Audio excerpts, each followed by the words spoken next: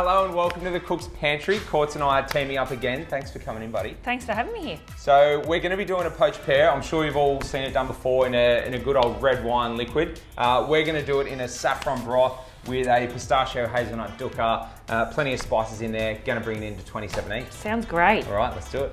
Now, I'm no maestro when it comes to cooking desserts, especially when it comes to, to baking and things like that, where there's there's a science. The, the rules are written, you have to follow them. You if, and me both. If you don't, you're in a world of hurt. So desserts like this, I find are an awesome go-to. Good to have in your armory. Uh, very, very simple steps to follow, and you get phenomenal results. So Love it.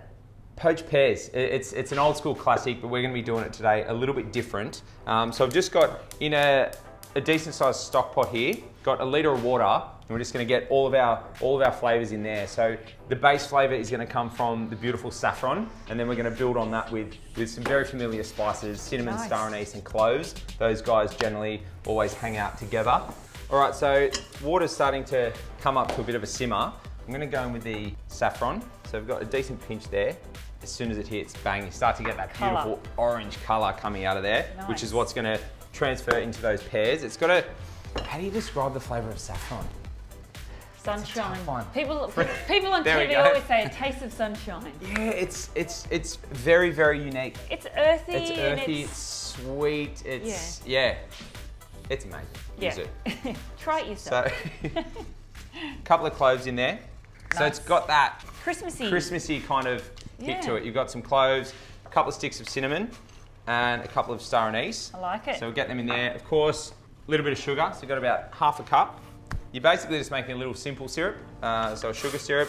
Get your flavors in there. You can smell that Smell already. Straight away. So as soon as we get that, that sugar melted, in with the pears, lid on, and then we'll just get it down to a gentle simmer, and they'll tick away for about half an hour to soften up. Then we'll get cracking with a good old dukkah. Ducker. Ducker.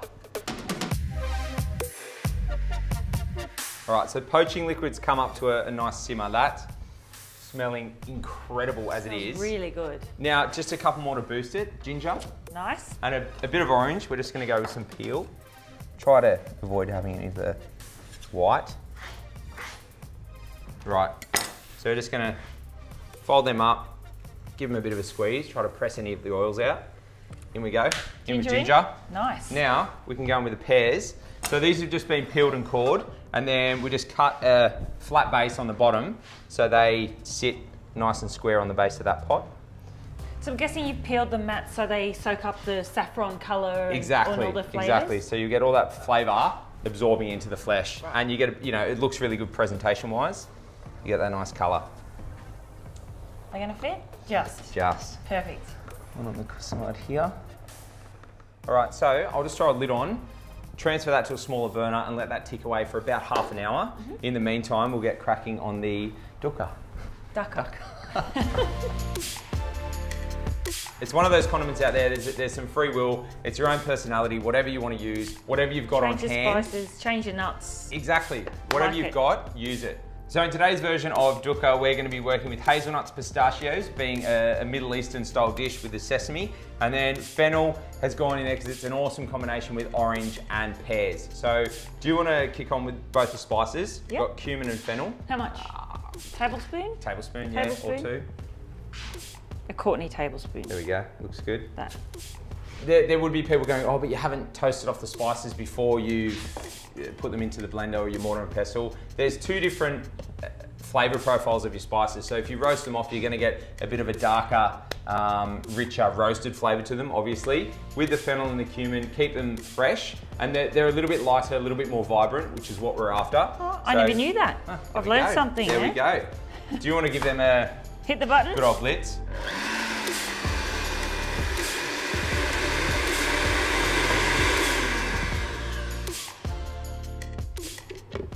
Okay. Look at that. Yep. Looks good. Smells even better.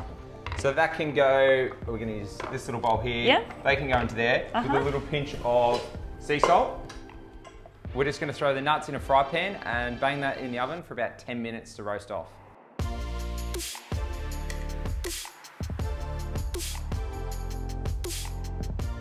So I'm just gonna throw them blender, give it a quick pulse, break them up, rough chop, I'll let basically. you do it because the pan's hot.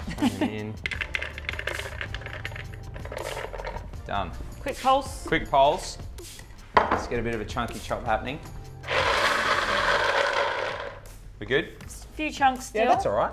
You got to have a bit of texture in there. Hazelnuts smell really good. Nice.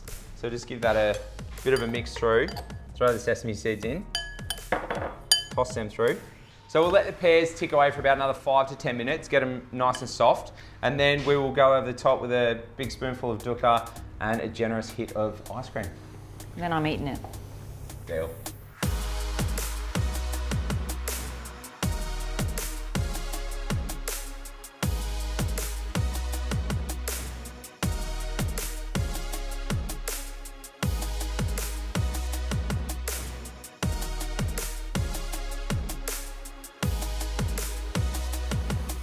There we go, mate. The finished product, some saffron poached pears, a little pistachio dukkah, and a nice big whack of vanilla ice cream. I've got a spoon ready for a reason. Let's Enough talking.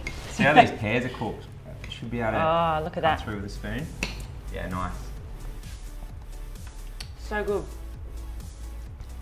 Saffron, dukkah, Dukkah. sweet ice cream, pears cooked perfectly. Tiny bit of texture, Yep. still holding together, Not but much. soft enough that you're not chasing it around the plate. I'm sure you guys have all seen dukkah used in a savoury application before, but using it on a cool little dessert like that, again, no baking, so you seriously cannot go wrong. My kind of dessert. It's foolproof. Totally doable.